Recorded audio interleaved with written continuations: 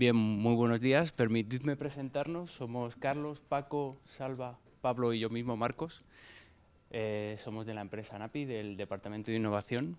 Y primero de todo, muchas gracias por vuestra asistencia, vuestro tiempo, que seguramente como inversores potenciales y como ya veréis, usuarios eh, actuales o futuros, pues eh, espero que os resulte de interés. Bien, en NAPI somos una startup que está orientada al, sector de, los pañales, de la pañalería en general, tanto para familias como para residencias y hospitales. Bueno, y pretendemos dar solución pues, a todos los problemas que ocasionan eh, los pañales. Eh, está claro que los pañales son un incordio, ¿verdad?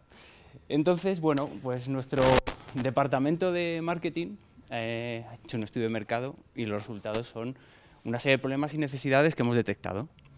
El primero, pues el precio. además, ahora que estamos en crisis, hace falta algo competitivo.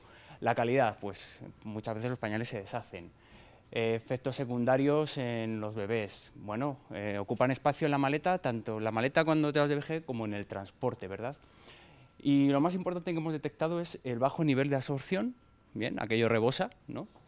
Y luego que es un, pues genera residuos, realmente esto, esto tenemos que resolverlo de alguna forma, sobre todo por el tema de la celulosa. Bueno, ahora vamos a ver nuestras ideas innovadoras eh, las hemos estructurado en tres, en tres partes, tres ejes. Primero, un pañal eficiente, luego un contenedor que mi compañero os va, a demostrar en breve, y un servicio de almacenaje, recogida y entrega de pañales, más el, de reciclaje. ¿no?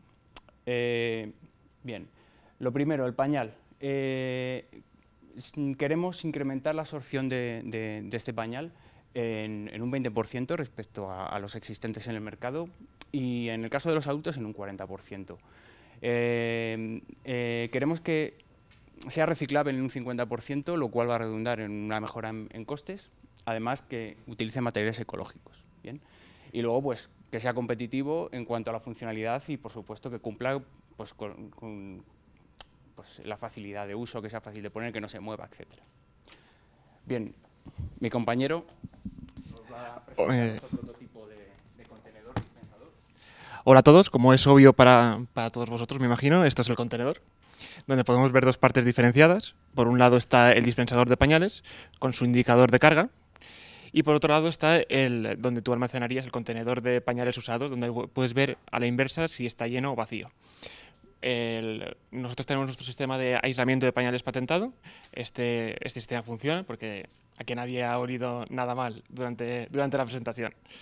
Es que funciona, tenemos, tenemos aparte de este diseño, un diseño para portátil, para cuando te vas de, por las piscinas o te vas a algún sitio, que nuestro público lo demanda. Y en principio este sería el prototipo que nosotros, eh, prototipo chascal que nosotros llevaríamos a las familias que contrastaran el servicio. En cuanto al servicio, bueno, pues eh, planteamos que eh, tengan los usuarios tengan en sus casas este contenedor, que nosotros pues, lo recogeríamos cuando ya esté lleno en cuanto a los pañales usados y entregaríamos, lo entregaríamos otro vacío eh, con los pañales limpios. También planteamos la posibilidad de entregar pues, en movilidad cuando alguien se va de viaje. Bueno, y podrá elegir, los, usuarios podrán elegir tanto la frecuencia de, recogida y entrega como como el modelo de pañal. Em, eh, nuestro plan de innovación pues, contempla eh, eh, tres, partes. La primera es pues, la mejora de los materiales de absorción para este pañal con un rendimiento elevado.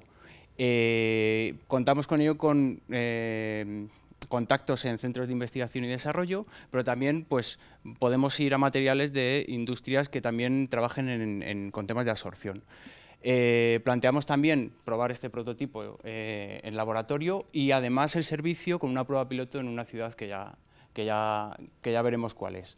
Bien, y para esto pues eh, planteamos una financiación mixta, tanto a modo de ayudas como en recursos propios, bien propios, bien pues capital riesgo, que esto es lo que estamos viendo. Y eso es todo, muchas gracias.